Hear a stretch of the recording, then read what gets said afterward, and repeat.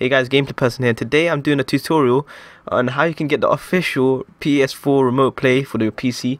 And yeah, I just realized yesterday PS4 Remote Play, the official version was coming to PC. So uh, yeah, it literally came out today and you just have to update your PS4 and download it. And I'm going to show you how to do that just now. And yeah, I didn't realize that with the official one you can't use mouse and keyboard. But with the unofficial one, if you buy the premium version you can use mouse and keyboard. As you can see in the bottom right, my PS4 is updating to the latest update. And what you want to do is go onto your Google Chrome or Google or whatever. I said whatever in the last video and I was like, why did I say that? But uh, yeah, go into Google and then type in PC Remote Play.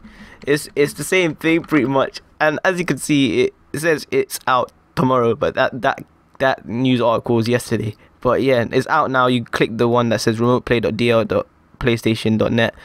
That one, that's the official one. Click it Windows PC obviously because I'm on a Windows PC you can do this on Mac as you can tell right there.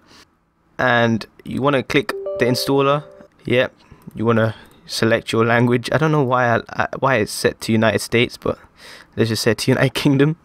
It doesn't make much of a difference but yeah that's it. Click next. I accept. Next next next. And once that's done then you'll be able to use it. It's pretty much the same way as setting up in the last thing. And yeah I'm gonna show you again because I uh, might as well. And then you click finish once it's finished. And as you can see there's an icon on your desktop. It says PS4 remote play. You obviously want to open that up. It's checking for update. Oh yeah and you need to connect your controller to the PC like like in the other version so I'm gonna do that now Alright, that's connected. And I want to change the settings to make it 720p and 60 FPS, obviously. And yep, okay. Then click start and then type in your email address and your sign into your PSN. And you want to click sign in. And once it's signed in, it should it should search via internet but if it doesn't then you can register manually like it's the same way to do it yeah if it doesn't work via internet just register it manually. And it says please wait so we'll just wait. And you want to want to go to your settings then where is it? Remote play connection settings add device and then you just type in 9465 0527 register registering. As you can see it says please wait.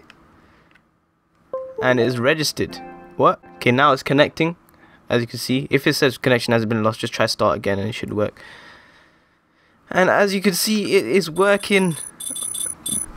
There is a slight delay kind of but it is working now. Whoa it looks pretty cool. I've never seen this before. So you can press the PS button share button. You can click on the screen and do it if you want.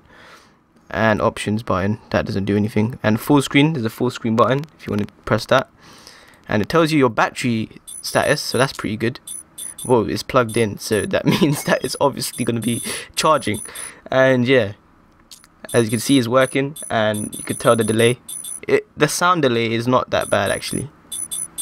It was it was worse in the unofficial version so if you have the unofficial version you can get the official version now and it's free. And yeah so if you enjoyed this tutorial please leave a like and also subscribe for more gaming videos. I might do a live stream today so come and watch that. And yeah thanks for watching and hope this helped you. Goodbye